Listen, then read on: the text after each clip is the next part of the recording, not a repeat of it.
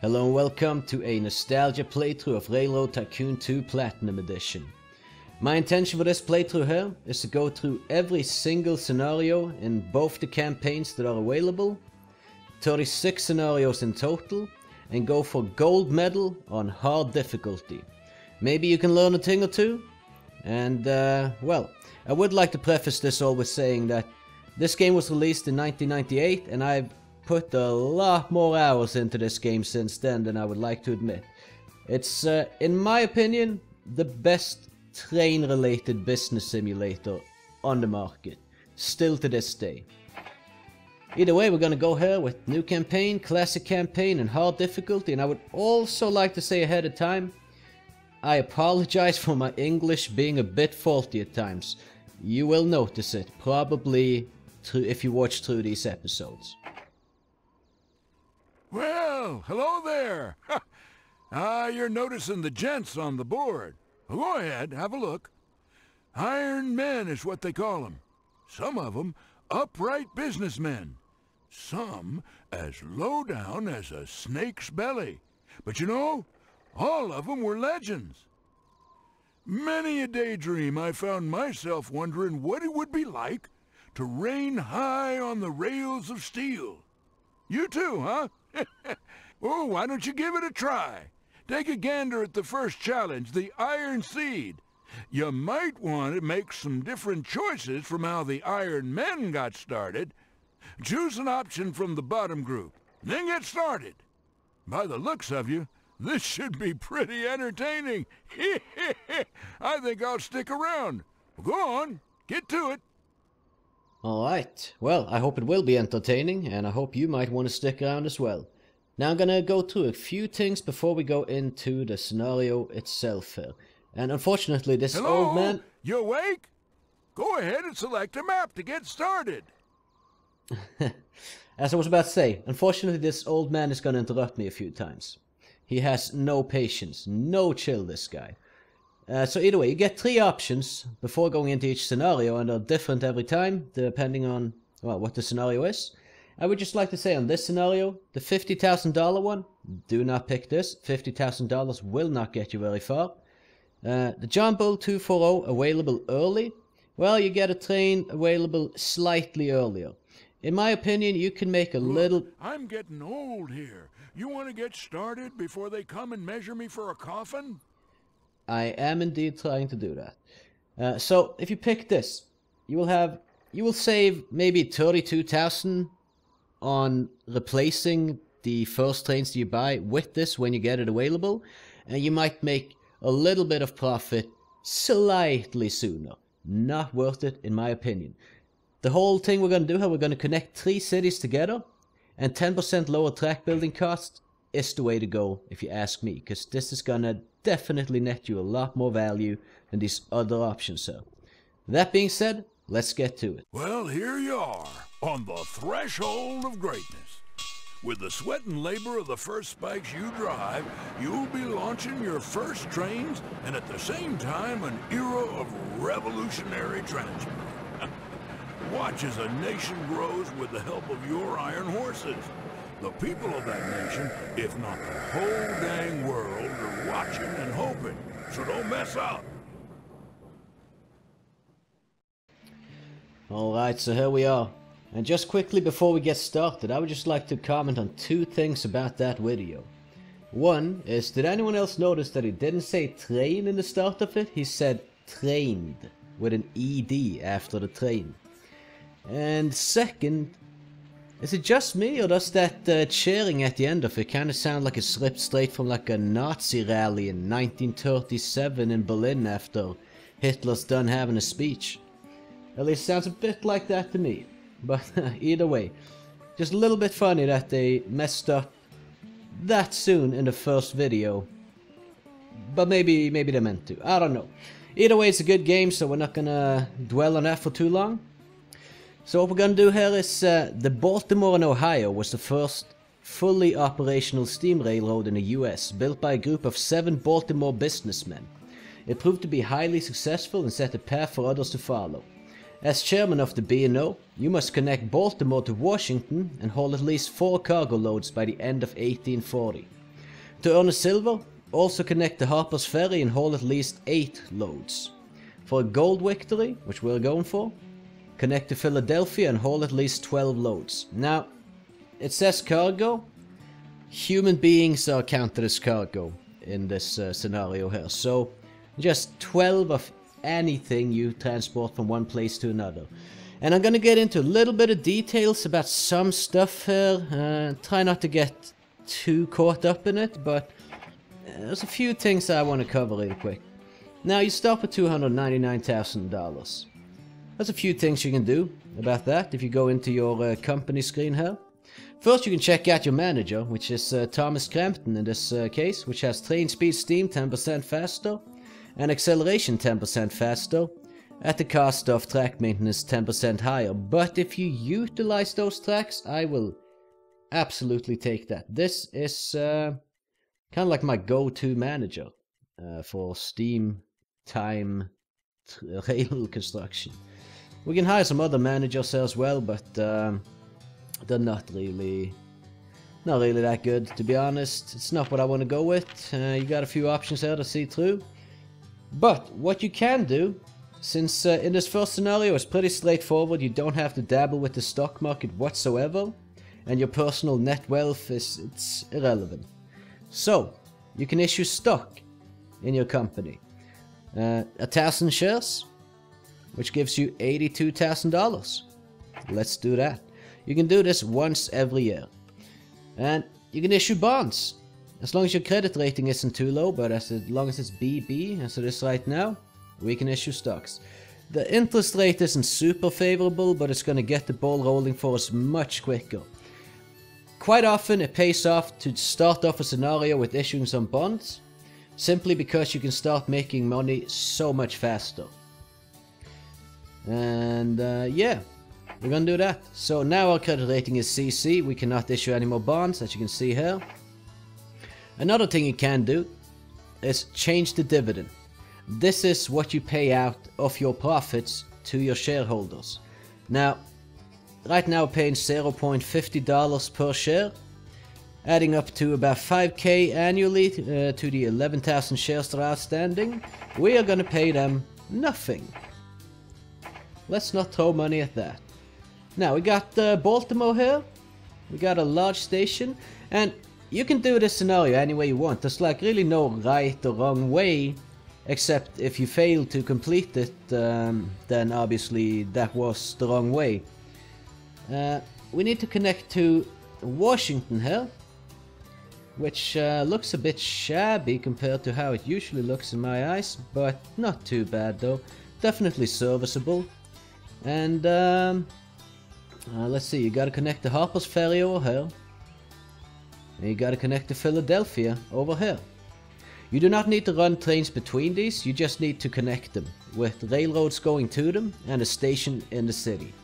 That's all you need to do. You can make your money any way you want as long as you just do that. So I can see Frederick here is actually a viable option for us to connect to. Uh, the thing is, when you want to connect to a city and do passenger between the cities, passenger and mail service, make sure that the city you connect to have at least four houses in them or in it because that's what's required to create you need to have basically four houses within the uh, uh, the uh, radius of the train station for it to generate demand for passenger and mail. If it's just three or less, it won't generate demand, but it will generate supply. Getting into supply and demand here. Uh, as you can see, the station supplies passenger, mail, and food. Food it will supply via this industry here, the bakery, but it needs grain to turn that into food. So you need to deliver grain to it to convert to food that you can then drive off to another city. And uh, the same as you could also go for cattle in a meatpacking plant here and turn that into food. Uh, then you need to transport it to another city afterwards to make some profit. You also have this port here, generating two passengers per year and one mail per year. This will change between scenarios. Uh, the port isn't set to any specific thing and can uh, produce or demand literally any good in the game. Now, a usual way that I like to do it is just kind of go in uh, Baltimore Relay, running a couple of trains between, making some profits, and then shooting down to Washington. That can work pretty well. And I just noticed that this thing right here is kind of blocking our path on our way to Washington a little bit. But uh, that's not so important. We could also, as I said, connect to Frederick. Now, you need to connect from your existing tracks in this scenario. And if you can see here, the grading, there's a bad section over here with like 2 and 2.5. You, press G, you can see the terrain layout with a grid network here. Uh, so that area right here is going to slow these early trains down tremendously. So is this bridge. This bridge is a massive bottleneck and you cannot upgrade it to a double track bridge. They aren't available yet.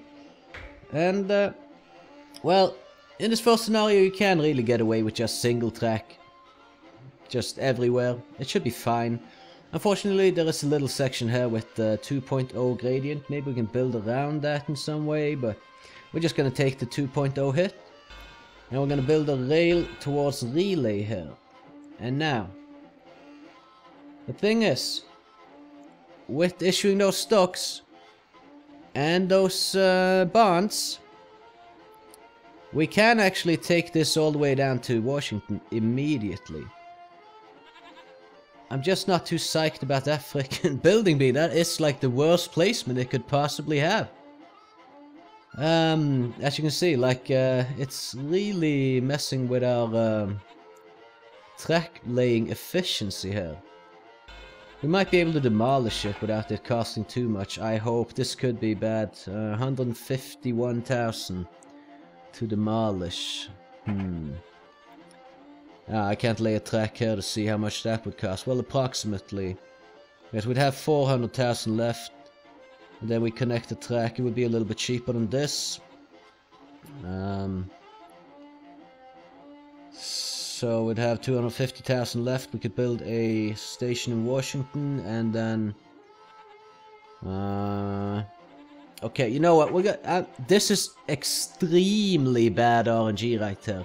And just to show you that we can connect to Washington immediately and make that happen, uh, I know a lot of players probably prefer to connect to the modern airline areas right away. Uh, too bad this thing popped up when I wanted, to make an example of what you can do, but we're going to just remove it. We're going to take a massive hit to our money there, and uh, we're going to continue on to Washington. It should, uh, should be fine. So, we're now in Washington, and we definitely cannot go for a large station, which I wanted to do. Uh, but we can go for medium station, and we can always upgrade it later. This is encompassing enough houses, like I mean we got to 4, 7, 8, 9, 10 houses. That's gonna create good supply, it's gonna create demand, and we're already in Washington before we've even unpaused the game. So uh, now what we can do is create or uh, purchase a couple of trains. One going from Baltimore to Washington, with two mail, and we'll also create one going from Washington to Baltimore and this can haul, uh, well, the base cargo value is better for mail than passenger. And you have like a limited time to deliver. 300 days, 300 days for mail. Can you imagine if you sent a letter and it turned up 300 days later? That'd be pretty... Or could you imagine if you went on a train trip and you arrived at your destination a year and a half later? That would be insane, but... Uh, yeah, that's how this game is. And there's one thing I would say, with, say about this game. There's one issue I have with it, and that's that time passes too quickly. Because uh, I want to like sometimes just play a scenario and build massive rail networks with steam engines, but suddenly I'm in like the year 2005 and then, well, there, there goes my dream of a massive steam network. Either way, uh, we're gonna just slap on, uh, let's go with three cars, maybe.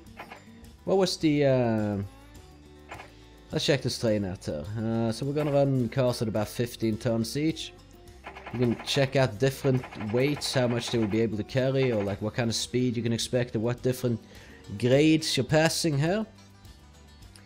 So I think uh, we can, it doesn't really matter, you put on one extra car and then it goes one mile per hour slower. So let's uh, check out this Washington train. We'll just go with four sir. We don't want to have it too slow. I will go with five. We'll go with five.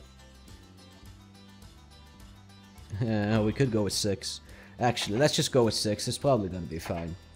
Now, another thing I want to do real quick is build a sanding and water tower here in uh, Washington. So that the trains have access to that. And we're just quickly going to see what we got in Baltimore as a saloon. Giving plus 5% to passenger revenue to trains, I believe, arriving here with passengers. You got a water tower, sand tower. Water tower will supply trains with water, obviously, and sand towers with sand. And uh, water needs to be... Well, you need to keep your trains supplied with water, otherwise they're going to move extremely slow. If you don't have sand on them, they're going to climb hills extremely slow. And, uh, well, uh, this here is a roundhouse. The roundhouse will do the maintenance of trains, making sure they don't break down as often, although when you play, uh, play on hard difficulty, there will be more prevalent breakdowns than on easy difficulty. So that's just a thing we're gonna have to deal with. It will also supply trains with oil, and you need some oil. I think we're set up good to kind of just start running here. Um, there's probably a few things I missed, but I'll probably get to them at some point. So we're just gonna unpause. We'll put game speed to 5 because these initial trains are really slow. Now, the longer you haul goods, the longer distance, the more you get when they arrive at the distance, or at the destination. But, also, the longer you keep transporting them, the less they will be worth when they get there. So actually, we can see here now, this, this train going to Washington is currently worth 400,000. Now there might be a, a, situation where like the, suddenly there's a boom or there's a crash economically and this will change due to that. Like if there's a crash, it will be worth less. If there's a boom, it will be worth more. But now it's worth 400,000. As we progress a little bit, it will be worth a lot less. However, as soon as Baltimore train or this uh, train from Washington hits Baltimore, we're gonna be making around a million. And uh, that's just gonna be very nice for us. With a million we can do a lot. So yeah, as you can see these trains are extremely slow. And the cargo on this is now worth 388,000. But I think it's a good idea to just haul 6 cars actually. Although you get there a bit slower, when you get there you do get a lot more. But that's uh, up to you how you want to do that. Either way should be fine. Depending on what you want to achieve with your things. Right, so we are going into a recession. And that's unfortunate because uh, that's going to make everything worth a lot less. This was at 388,000. Uh, 351,000, so maybe it's not that bad actually. Oh, you can see it more on the this train here. It's now worth 976,000, but it is definitely still good enough. Oh, there's one thing I forgot to mention. When you're not dabbling in the stock market, you can change dividend. This is basically what you... Oh, did I, did I mention that? Did we? Uh, okay, so I guess I mentioned that. okay, well.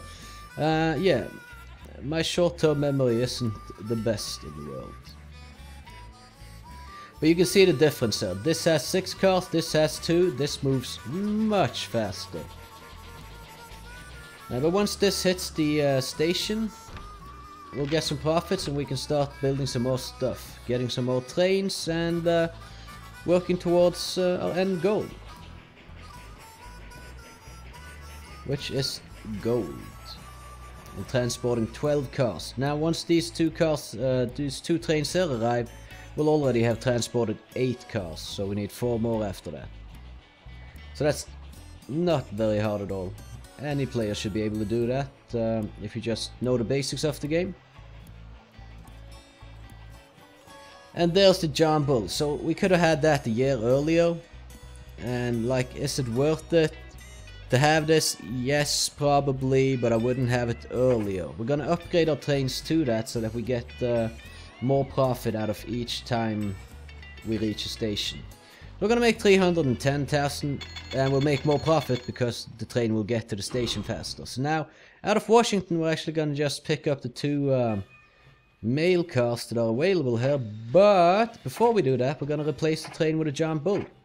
And we're gonna replace this other train with a John Bull. So, what I said about you can save maybe 32,000 is because you buy these for 16,000, 32,000 total, these two trains. And then you buy these to replace them for like less than 50,000 uh, for two of them. And we're just gonna... When you uh, replace a train, it will stop dead in its tracks and then kind of resume acceleration from there. But either way, it should get to its destination a lot faster. And uh, yeah, we're just gonna roll out and keep going. We might not want to have uh, six cars actually, it is quite slow. And it's gonna possibly cause some issues. You can upgrade the double track. You can also upgrade the double track. When you see two trains are gonna meet each other at one section of rail, you can just upgrade the section ahead of them. Don't upgrade below the train, it will stop the train and will have to accelerate up again. Try to keep at least like this kind of distance from the train if you want to do that. And that way they will not stop each other, they will just, uh, you can upgrade as I said, and they will go on the separate tracks and just pass each other while moving. So I know that I've already messed up quite a few times in the English and I did warn you that uh, my English will be a bit faulty. It is not my native language, I am a Norwegian, so uh, well, that's my native language. Although, hopefully I am understandable. So we're gonna make a profit of like 800,000 when this hits Baltimore and then we can really start doing some stuff. Uh, and these these bridges really slow. If you can avoid these bridges, avoid these bridges. Sometimes it doesn't really matter, but as you can see, it's really slowing down the trains. I mean, this train has gone basically okay. So yeah, I mean the speed difference is tremendous. Like this train has gone to Washington and back to Baltimore in the time it has taken this train to get from Washington to Baltimore. And now we got the profits, and from Baltimore we can take, uh, we're just gonna take three cars, because there's not really that much in supply here. And the other train can run some of that too. And now that we have that, we're gonna get another uh, train going from Washington up to Baltimore. We'll just do three cars. That seems like a good place to be going. You moved eight loads of cargo and etc etc minimum conditions reached and we're actually going to just uh, connect relay as well. Put a sanding and water tower there and we'll put a uh, roundhouse. Provides maintenance to engines that pass through the station. Engines that do not stop to receive scheduled maintenance are far more expensive to operate. Right. And it might break down well, I don't know if that has anything to do with that, actually. Uh, I always thought it did, but maybe it doesn't. From that wording, I'm getting a little bit uncertain. Now, there are some options. Uh, we're not going to dabble into too much of what you can do here in this scenario, because it doesn't really matter, but... This... Uh, I don't know what is this, like a pressure gauge, maybe? Speedometer? One of these two things. You can see how the breakdown chance per year. This is how fast the train will go. You can crank this back and the train will go a lot slower from that, but uh, then you will reduce the chance of a breakdown. However, a 0.8% chance of breakdown is not bad, so we can keep it at that. We can even speed it up a little bit and have a 3.9 chance at full maximum throttle. This is something you can dabble around with. I find that usually you don't need to do that so much, but it, it it's a level of min-maxing that you can do if you want to. That being said, we're going to put a train going from Relay to Washington as well. Uh, there's not that much you can carry. Do they demand uh, grain down here? They do not. So we're just going to bring the mail and passengers. And we don't need to do this at all, so don't think that you have to. But I'm going to upgrade to double track. Sometimes if you have enough money for it and you know you're gonna upgrade the double track at some point, it could be better to just go for the double track right away because it is more expensive to create a single track and then upgrade it to a double track than it is to just go for the double track. And what I like to do early in most scenarios is min-maxing a little bit on uh, on what the uh, trains are making. So you what you can do is you can set up like this. You just go, well, we're gonna have this, run all stations, bam, that's just it. And we leave it like that. That's all it's gonna, that's all it's gonna do. Just transport that. Um, But what I like to do early in scenarios is to just, when it gets to the station, I see what's available and I customize the loadout uh, based on that. And uh, that way you can net a little bit more profit, which can really help you get that snowball rolling. But at some point you get so many trains that it's just tedious to, to keep track of that all the time. Right now we have 4 trains on this list.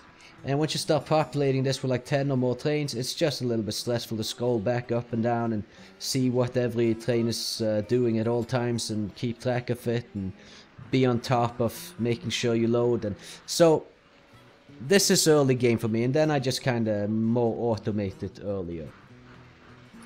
Uh, we've spent a lot of money already um, on this track. We could have expanded and probably connected to Harper's Ferry. But instead we went for the double track, which will give us a little bit uh, quicker profits as the trains will not stop each other. So we're going to speed it up back to 5 again here. And uh, yeah, we're just gonna keep running trains. Could also upgrade this station actually, but it is fine for now. Alright, so it's about to hit Baltimore for another 240,000 in profit. And we're gonna take the two passengers that are there once we get there. And there's another passenger. So it's it's good to wait for this bell. Because when you're on the station, as you as just demonstrated right now, I set up two momentarily after it hit the station, and now there's three available. So, something to keep in mind.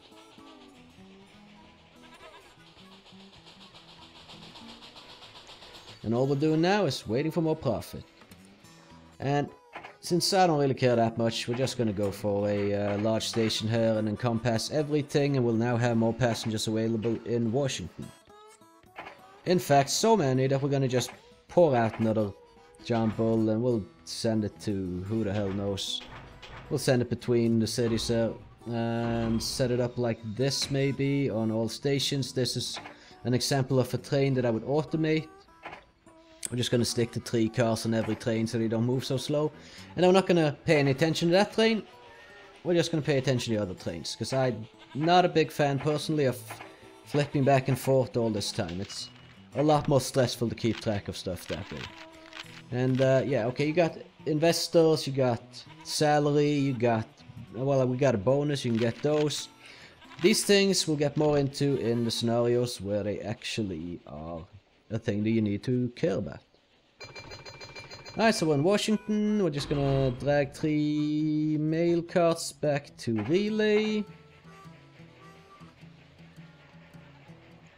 And let's be honest, uh, we can put another train on the tracks. Baltimore Relay, we're just gonna automate it. Uh, whoops, hit the throttle there by accident. Automated, three passenger, I don't care. Let's just go. Let's do it. It's gonna be making money.